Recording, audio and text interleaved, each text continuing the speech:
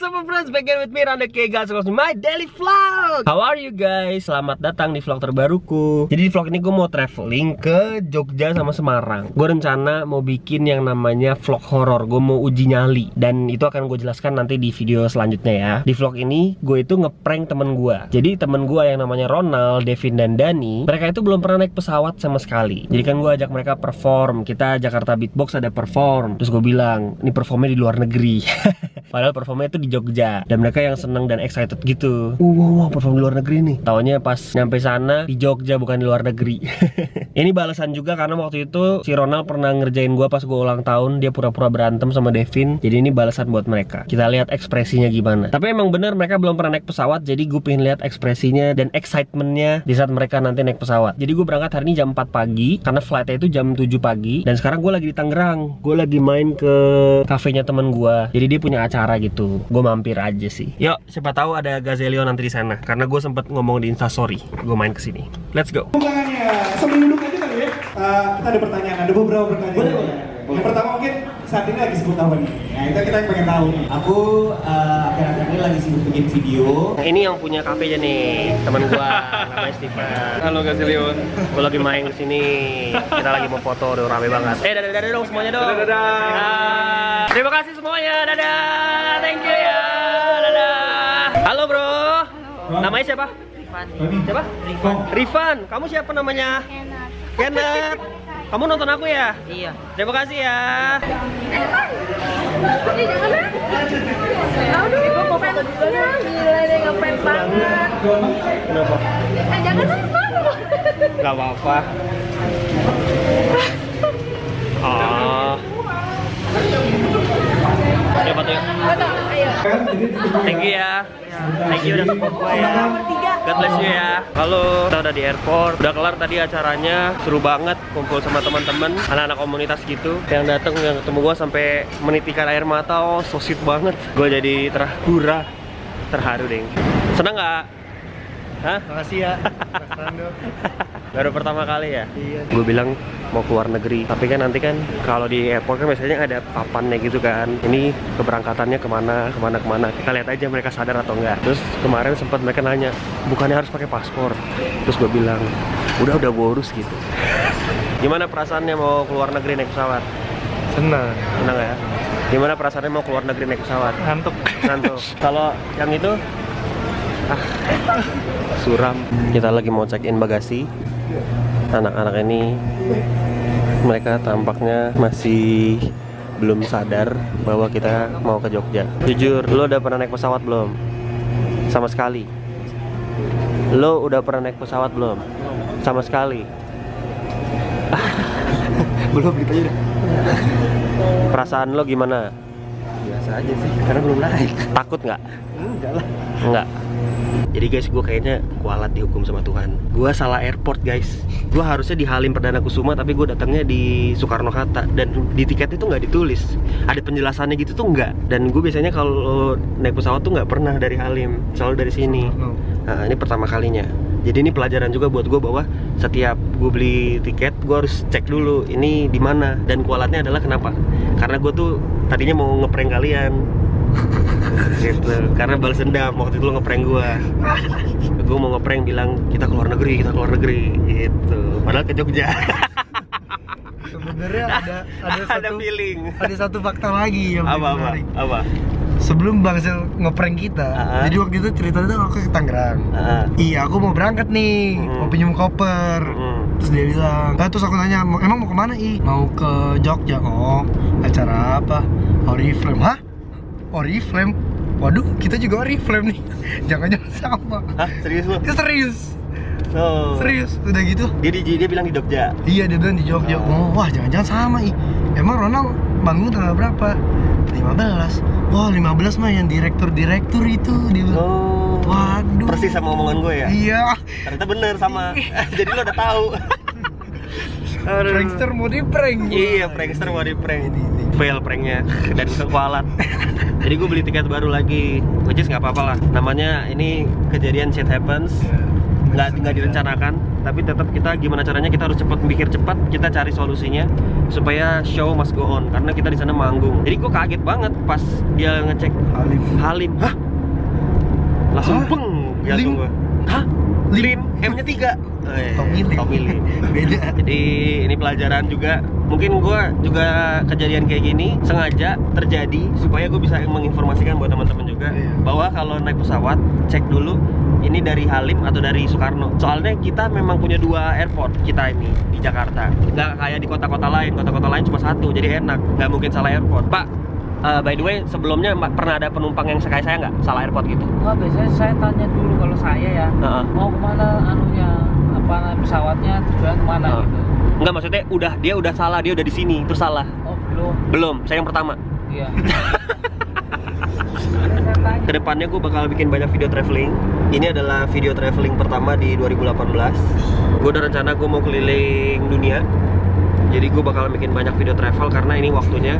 Nanti kalau gue udah mudah-mudahan udah berkeluarga, gitu kan udah susah. Pokoknya gue selalu berusaha gimana caranya video-video gue bikin kalian ketawa, gitu. Kayak sekarang, kalian kan ketawa kan, ha syukurin lo bang. Eh kan bikin ketawa kan, bikin ketawa. Ini seneng banget nih haters nih. Iya, seneng banget. Oh, mama belum. Tapi nggak apa-apa. Emang pengalaman itu adalah guru paling baik. Iya. Gitu. Masih untung gue salahnya ke Jogja. Kalau misalkan gue salahnya pas gue keluar negeri, Hmm. beli tiketnya lebih mahal. Mahal. Jadi nggak apa-apa. Alangkah baiknya nanti buat teman-teman ke depan ya. Boleh di cross check ulang. Oh. Terus dicium.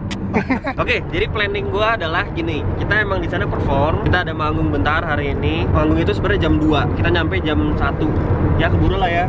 Nyampe sana langsung manggung. Sudah langsung ganti jas di mobil itu di jalan, ganti jas aja pelan-pelan. Terus habis itu langsung manggung, langsung maju. Habis itu kita free. Gue udah minta kita pulangnya tanggal 18. Jadi kita ada 16, 17 sama Empat 18. hari. Kita kan sekarang kan 15. Terus kita istirahat. 16 kita berangkat ke Semarang. Serius? Iya, naik kereta. Kita ke Semarang naik kereta cuma dua jam. Terus kita nanti bikin vlog uji nyali di Lawang Sewu. Sedap. Ini dia, ini dia. Ya, belum pernah ada. Kenapa? Soalnya kemarin gue habis bikin instastory voting, guys. Mau video vlog apa? Vlog horor tuh banyak banget. Minta, bang, vlog horor lo kan suka ngebahas tentang yang berhubungan dengan dunia gaib. Kita pengen tahu, kita pengen lihat. By the way, spoiler alert, di Lawang Sewu itu adalah tempat paling horor di Indonesia karena waktu itu pernah ada acara stasiun TV yang juga ada penampakannya dan orangnya sampai jadi korban lah dia sakit gitu jadi ini bener-bener uji nyali yang kita bertaruh tapi gue punya iman lumayan kuat lah bisa dibilang. Jadi gue nggak takut. Yang penting kita mensiasatinya dengan kita nggak ngajak mereka berantem. Cukup datang kita uji nyali kita nyalain kamera kita shoot. Nanti pas editing kita lihat apakah kita nangkap sesuatu atau enggak. Tapi gue nggak akan kayak nantang atau ngajak berinteraksi gitu enggak dan di depan kita ini ada indigo jadi dia udah pasti banyak ngeliat-ngeliat. Tidak tenang dan. Ada gua dan. Kita bentengin dulu orang jadi buat yang nggak tahu dan ini indigo ya seperti Vilo lah. Enggak lah jauh. jauhnya kenapa? Iya, jauh. ini nggak main-main beneran. Gue sengaja udah planning ini. Wah ke Jogja nih kebetulan ya kan? Sekalian aja. Ternyata belum telat. Gue masih bisa naik pesawat yang tadi. Jadi walaupun pindah airport tapi ternyata belum telat. Gue mau kasih lihat mukanya Dani. Halo guys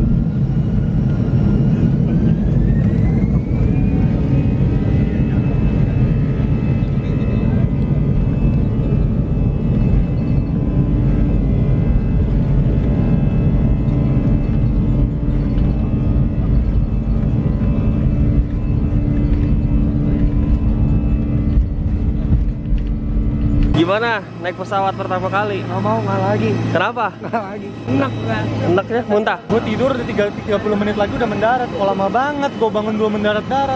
Dia sebelah gue. Hamil pak Hidup gue di darat, nggak bisa di udara.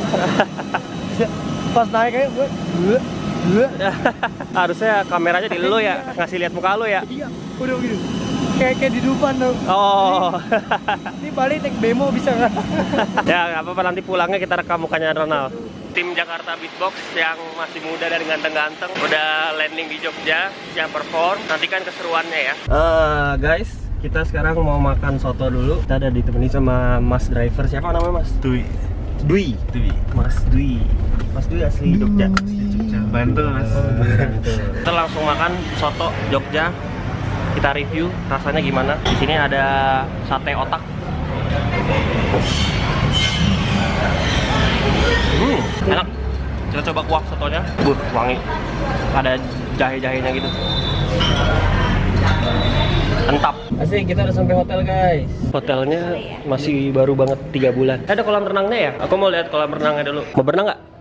Berenang dong. Wih. Kita tap di sini. Biar berseni banget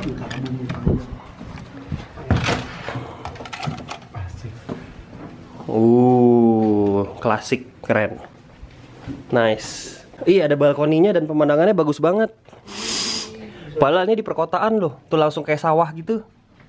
Keren. Coba lihat. Wah, bisa nongski. Ada tamannya, ada sawah, ada kolam. Keren pemandangannya. Padahal ini di tengah kota Jogja, bukan di kampung atau pedesaan. Hei, hei, hei, kita udah dandan, kita siap mau perform. Yoi, Dani keren. Tuh kita performnya di situ guys, tuh gedung itu tuh yang ada balon-balonnya. Ada Isyana, Saraswati, ada Rosa. Kita udah di lokasi syutingnya. Tempatnya gede banget nih. Nanti di sini rame, semuanya orang datang. Iya. Kita masuk ke sini. Kita mau cek sound dulu.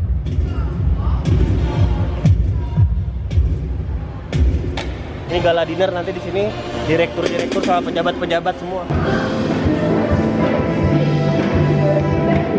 Gisel lagi cek sound. Yeay. Guys, gue sama Berry Lukmahua Basis keren. Kita bakal collab. Jadi kita performnya nggak sendirian, kita bareng. Kita bakal bawain lagu yang seru-seru. Tapi kita, by the way, kita baru ketemu sekarang. Yes, belum latihan jadi on the spot. Ini membuktikan bahwa kita sama-sama jago dan profesional. Sedap. Sedap. Kita sama-sama nggak tahu mau ngapain lagi. itu sih, itu sih. Kita lagi cek sound.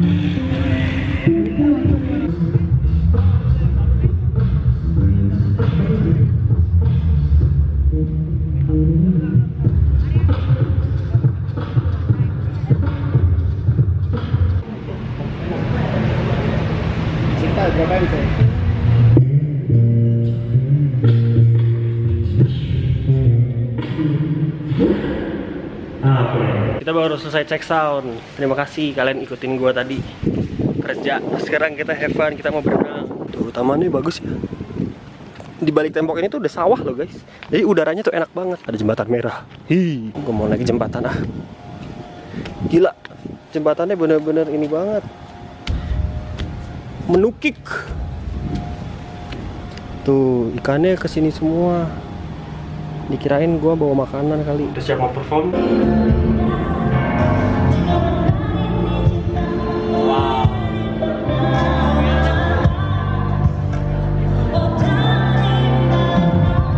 Cakra. Halo. Kita lagi di backstage, kita mau manggung di acaranya Di acara Oriflame. Oriflame, yup. Say hi boleh nggak buat penonton di YouTube gue? Hai semuanya. Kau jadikan aku kekasih bayangan untuk teman di saat kau merasa sepi bertahun lamanya menjalani kisah cinta sendiri. Keren, thank you bro. Thank you, thank you. Sukses bro. Halo guys, aku lagi sama. Hai. Oke. Ah, di follow back. Baik banget sih. Thank you ya. Mas Ronald di backstage makan apa ya? Saya makan steak. Heeh. Ini eh, kebenaran saya request. Heeh.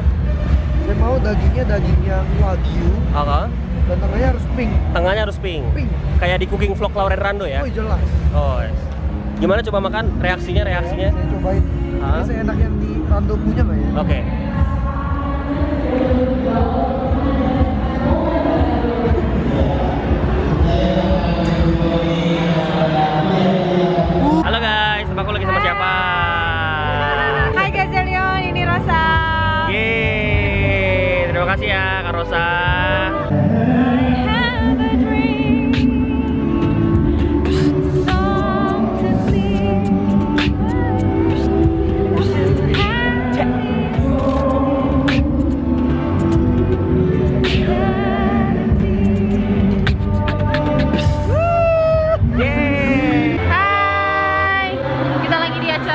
Orchestra apa ini? Oriflame. Oriflame. By the way, mau tahu fun fact nggak? Mau.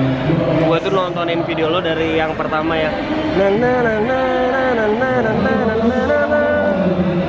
Nada aja gue inget. Oh cover? Ya. Wow, thank you. Ya. Nah, itu udah lama banget ya. Keren banget. 2000 lupa 2000 lupa. Karena gue karena gue dari dulu udah bikin video beatbox terus habis itu gue lihat Oh iya. ini keren banget di sana. Yeay, thank you. Nice, Sukses, sukses, sukses juga. Thank you. Jadi aku ditemenin sama teman-teman baruku, orang-orang yang super friendly dan profesional. Aku dari tadi dibantuin terus di sini. Thank you ya Mbak. Mbak namanya Yes, siapa? Dengan Reni. Reni. Dan ada Mas itu siapa Mas namanya? Omet. Omet. Wawan. Wawan. Asli Jogja apa? Asli Jogja semua. Enggak, aku Jakarta. Oh Jakarta, aku juga Jakarta.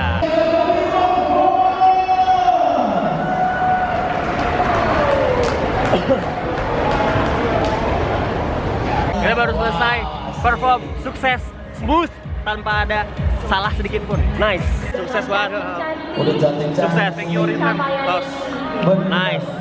Next event kita tunggu. Let's go. It is a long day. It's a long long day. It's a long long vlog. Dimulai dengan acara sama teman-teman. Sekarang kumpul lagi sama teman-teman dan kita besok ada vlog horor. Kita ke Lawang Sewu. kurang Lah- horor bukanya tapi nggak ini nggak bercanda Lawang Sewu adalah mungkin situs paling horor di, di di Jakarta di Indonesia jadi kita hari ini harus tidur good job buat kalian semua nice job Jakarta Beatbox well done acara besar kalian tanpa sedikit pun salah benar-benar perfect.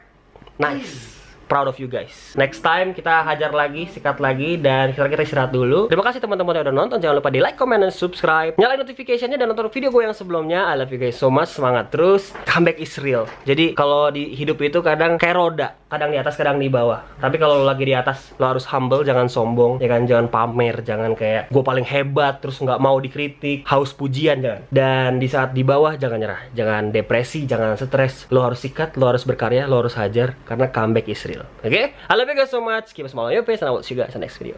Cheers. I love you Isyana